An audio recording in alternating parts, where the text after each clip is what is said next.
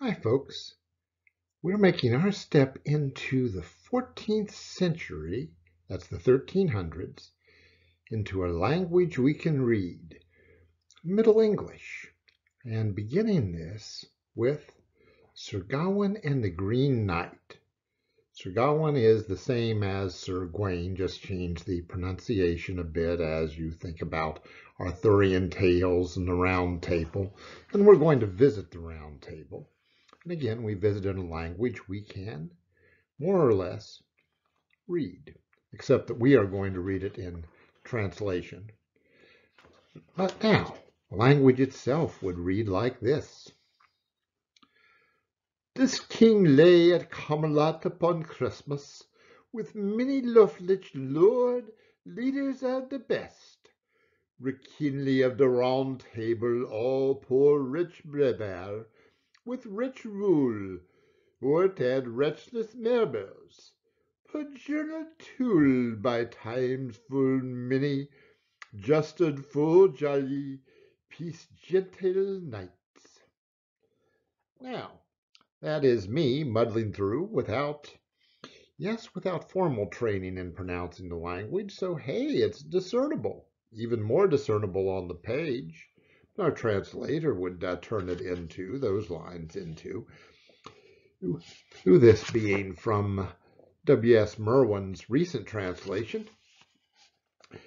This king was staying at Camelot at Christmas tide, with many fair lords and most beautiful ladies, and the whole high brotherhood of the Round Table in happy festivity in the high revels of the season. The men charged in tournaments again and again, noble knights jousting in high spirits. Okay, so let's talk about the writer of this piece. We don't know who he was. We know that he was from the west of London about 80 miles west, we think, which means we're toward the Welsh border, not there. So we're in more the original lands of the Arthurian tradition. Um, he may have been a priest. This is fairly likely since he was literate. He also was very much a scholar and was intellectually sophisticated in a fashion we don't expect of priests from that period. That is, he had a deep understanding of the folklore of the Welsh region and of Western England. This understanding of these uh, Celtic traditions and directions, probably more than we have now, because over so many years so much is lost and we interpolate and create things. I'm uh, borrowing rather heavily from Robert Graves' The White Goddess as I talk about uh, our Green Knight as the Holly King and Oak King and get to hope. This is accurate. It works this way with our scholarship for this period. But we know our author knew, knew the traditions of his region. Now, you folks have a James Winny translation from the textbook. It's a pretty good one. I love J.R.R. Tolkien's translation, and I have summarized and quoted from his introductory remarks in uh, your Canvas notes. You will want to give attention to those and also what I said about uh, Merwin's uh, notes, which are also tremendously good. W.S. Merwin, who I just read from, uh, um, did a much more contemporary translation.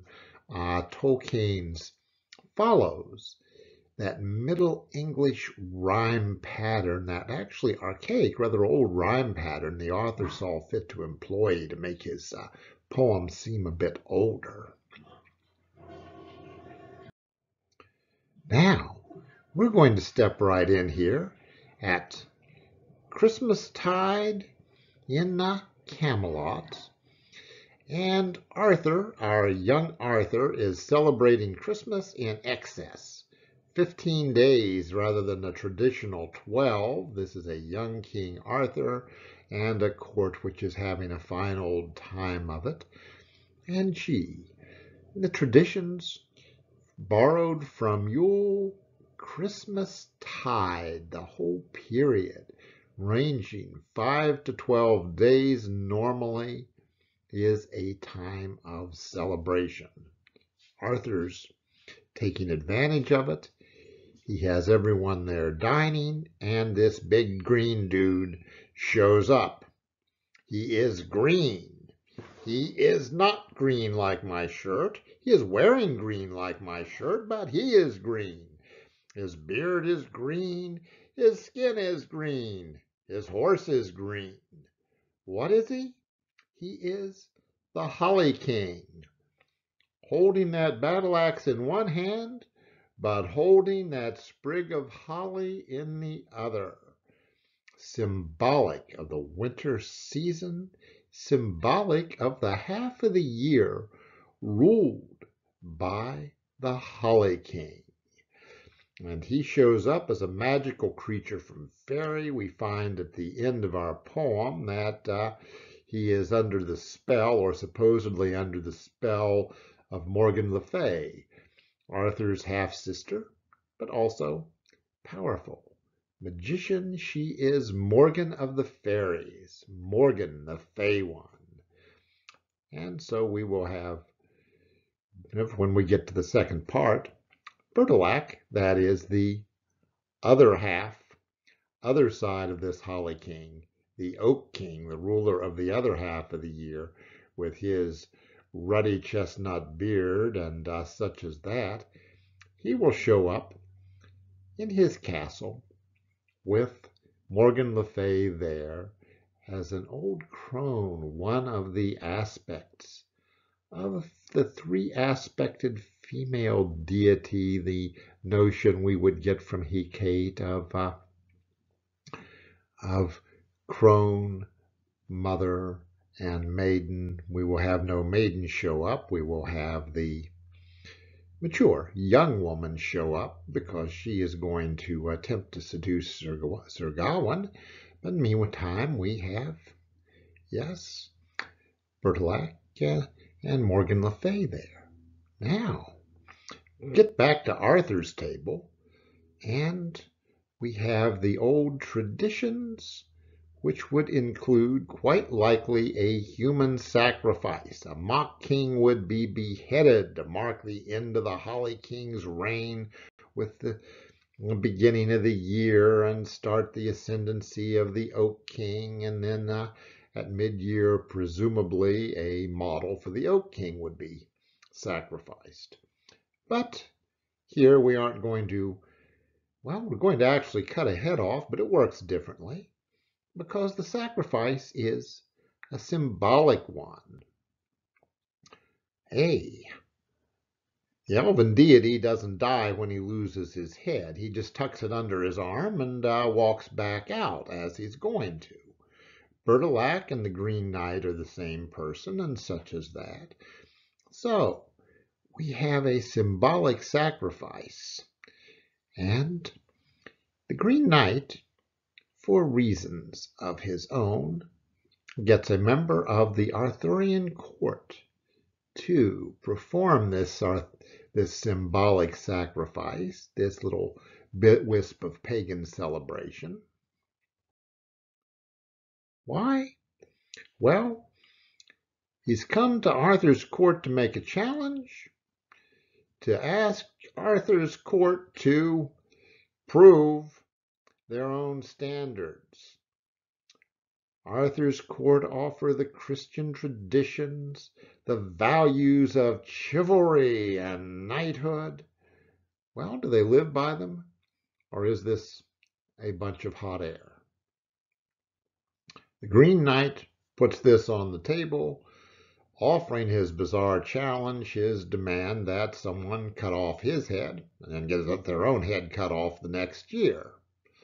Now, everyone at the table is afraid because, hey, there's a hitch. You cut off this guy's head, he should not be around to cut off yours next year. But something is the matter. So everyone hesitates, and the Green Knight begins berating the court, calling them a bunch of cowards. So Arthur gets mad. Arthur may be drunk, sounds like it, but Arthur gets mad and he is going to speak. He is going to accept the challenge. Does so. And then Gawain steps in front. Hey, why is he doing this? Because he is the king's nephew and the strongest and mightiest of the king's knights, and it is his task then, the one he accepts, to keep his king safe and out of trouble. He steps forth, not saying, Sit down, uncle, you're drunk. Uh, that just would not do. You don't say that to the king. Instead, he pushes himself forward using the style and form of humility, deeply important value of chivalry as he says, Oh, this is a modest task. Please give this to me, for I am the weakest among your court. Weakest bull.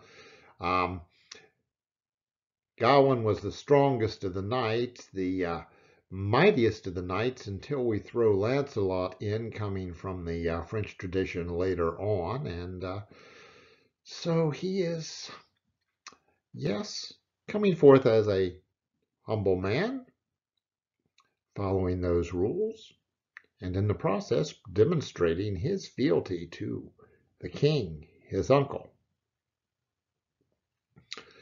And then he, well, he cuts off the Green Knight's head, and the Green Knight tucks, the head under his arm and says, Okay, in a year you have to meet me at the Green Chapel. Go out looking for it, and you will find it, and you will reach your end.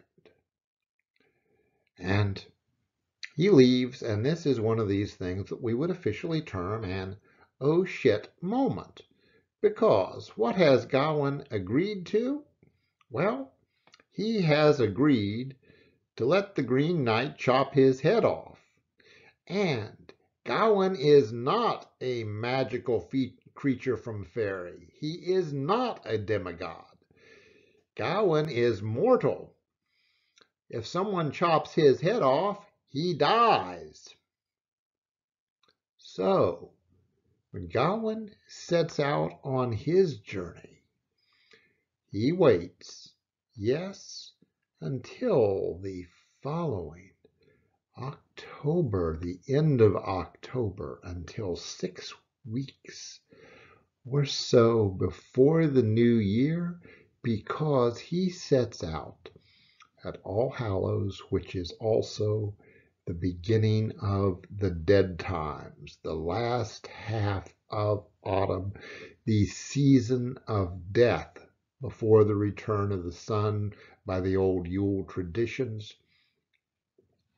And it remains with its bleakness, bare fields, darkness, and dark wintry rains. It remains the season of death. So Gawain must go forth into the valley of the shadow of death. Gawain is making his uh, way to his demise, it would appear. We continue with the next lecture.